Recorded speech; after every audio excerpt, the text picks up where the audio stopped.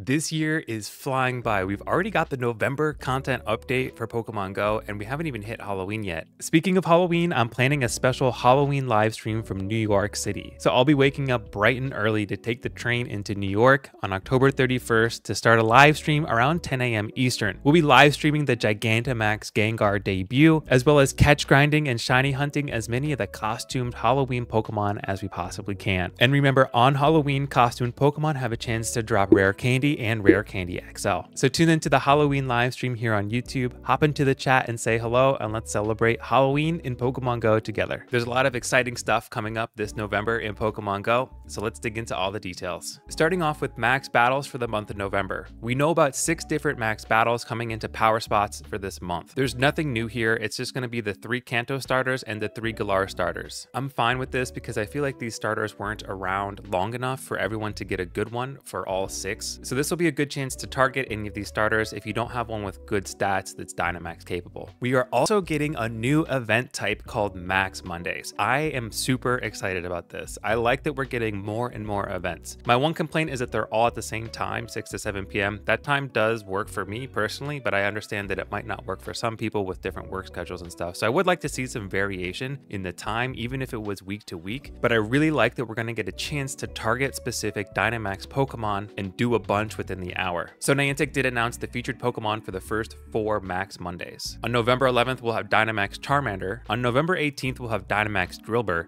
This is a Pokemon that has not yet been released in its Dynamax form, so this is a Dynamax debut here. Out of the four Max Mondays that we're going to be going over here, Dynamax Drillbur is the one I think everyone should focus on because of Gigantamax Toxtricity coming in Wild Area later on in the month. Toxtricity is an electric poison type. This makes it double weak to ground. Excadrill is a great ground type raid attacker, so getting a good Dynamax Drillbur now is going to help set you up for success during Gigantamax Toxtricity in Wild Area. Monday, November 25th, we'll see Dynamax Bulbasaur, and then December 2nd, we'll have Dynamax Squirtle. Let's take a look at the raids coming up in November. We've got Lugia from November 4th to November 18th. Lugia will know its featured attack, Aeroblast. It does need to know this move in order to do the most damage, both in raids and in PvP. While Lugia is not the best raid attacker, it is a very solid Master League pick, and Aeroblast is the recommended move on PvPoke. So if you're into the Go Battle League, if you're into Master League, do these Lugia raids for sure. From November 18th to November 27th, we'll be getting Origin Form, Dialga, and Palkia. Now we already knew that we were getting both of these Pokemon for a Wild Area, but it's cool to see that they're going to be available in normal raids throughout the week. Both of these Pokemon need to know their featured attack slash adventure effect to do the most damage. Between November 18th at 10 a.m. to November 24th at midnight local time, both of these Pokemon, when caught, will have a chance to have their signature adventure effect moves. So November 25th, 6th, and 7th, they won't be able to have their adventure effect moves, so definitely front load your origin form Palkia and Dialga raids. I want to emphasize these two Pokemon because their adventure effects are critical for grinding events like Calm Days, Spotlight Hours, etc. Dialga's Roar of Time can be useful if you're trying to extend your daily adventure incense and shiny hunt one of the Galarian birds, and Palkia's Spatial Rend ability can increase the radius that you can see Pokemon spawning on the map. This is critical for catch grinding and maximizing the number of catches or shiny checks or whatever it is during events. So at the very least, make sure you get at least one of these Pokemon with the signature adventure effect. They are also both very good, both in PvE and in PvP, so I'd say get more than one if you're able to do a bunch of these raids, but at the bare minimum, get at least one of each with the adventure effect. Zacian and Zamazenta are returning for just one week, so if you missed out on their shiny debut, you now have a second chance to grab these legendary dogs. During this same week, we'll also have Regieleki and Regidrago. So from November 27th to December 3rd, there will be four different legendary Pokemon that could possibly spawn in 5-star raids. Both Zacian and Zamazenta can be shiny, but Regieleki and Regidrago cannot. Neither Regieleki nor Regidrago are meta relevant as a raid attacker, nor in the the Go Battle League, so these are really just dex entries here. During November, we'll have five different Pokemon in Mega Raids, but their schedule is not super straightforward, so let's take a look here. We'll start off the month with Mega Manectric from November 4th to November 11th. Then we'll rotate into Mega Salamence from November 11th to November 18th. During these two weeks in Legendary Raids, we'll have Lugia. Then from November 18th to 27th, this is going to be the Origin Form Palkia and Dialga raids. We'll have both Mega Beedrill and Mega Ampharos in Mega Raids at the same time. So when you see a Mega raid egg in a gym, it could be one of either of these Pokemon. Closing out the month, we'll have Mega Altaria from November 27th into December 3rd, which is the end of the max out season. Shadow Suicune will be in legendary Shadow raids during weekends in November.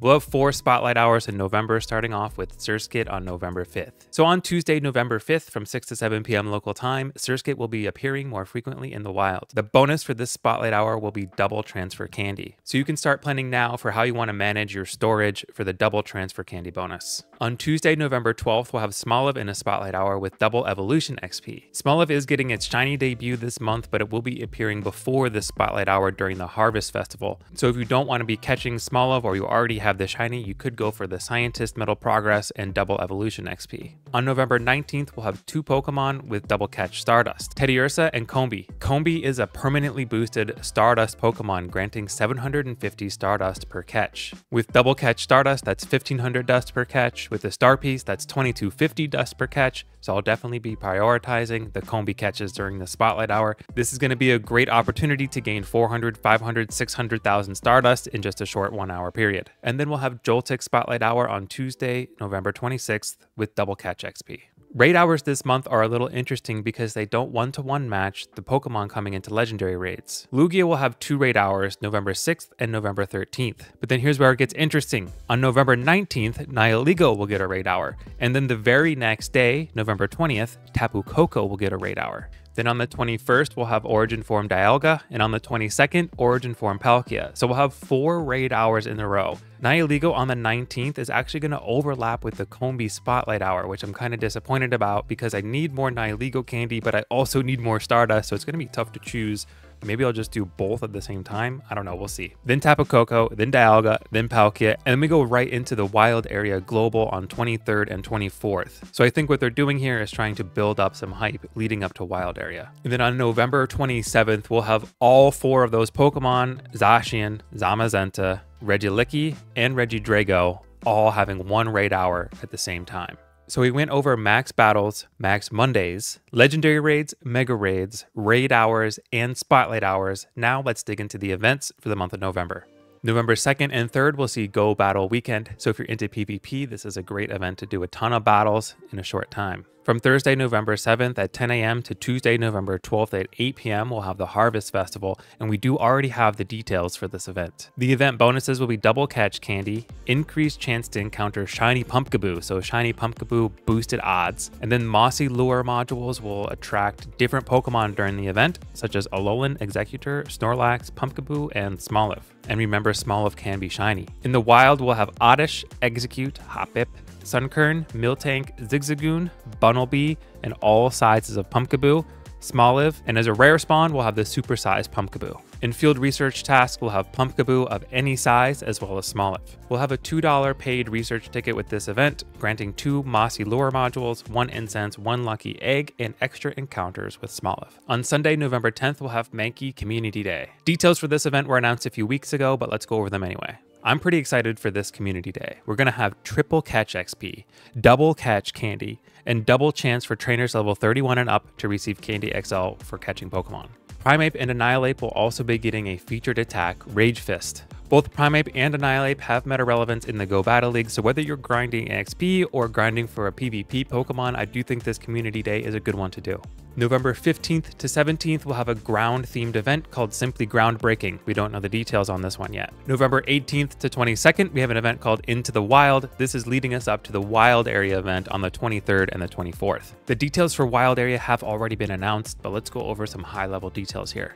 During Wild Area Global, we'll see Gigantamax Toxtricity, so remember do your Drillbur Dynamax raids during the November 18th Max Monday to get ready for that. Wild Area will have a new type of Pokemon called Mighty Pokemon. These Pokemon are more likely to have high attack, defense, and HP ratings. So I assume that means like a higher IV floor. That means a higher chance at a Hundo, higher chance at a Shundo. These Pokemon are more likely to be XL or XXL in size, and they're going to be more difficult to capture. However, we can use the new Pokeball, at least new to Pokemon Go, the Safari Ball, to increase our chances to catch these mighty Pokemon. Origin Dialga and Palkia will be available in raids during Wild Area, but if possible, I would encourage you to do your Origin Form Palkia and Dialga raids before Wild Area, so during Wild Area you can focus on shiny hunting and catch grinding. We'll have two costumed Pikachu that you're going to want to be shiny hunting during Wild Area Global. Pikachu Popstar and Pikachu Rockstar will take the stage for two days during this event. We'll also get a new costume, Snorlax wearing a studded jacket, and this shiny is available as well. Wild Area Global has so much to go over that it deserves its own dedicated video. So that's all we're going to go over for this November overview. The last event in November and the last event of the entire Max Out season is November 27th to December 1st, called the Max Out Finale. We don't know exactly what this event will be, but we do know that the Max Out season ends on Tuesday, December 3rd. November is definitely looking pretty good in Pokemon Go. Wild Area stands out as the most exciting thing coming this November, but there's a couple other standouts as well, like the Shiny Smoliv debut, Mankey Community Day with Triple Catch XP, the Combee and Teddiursa Spotlight Hour with Double Catch Stardust, and the introduction of a whole new event, Max Mondays. We're getting a brand new event type. So let me know in the comments what you're most excited about for the month of November. Thank you for watching this video, and we'll see you in the next one.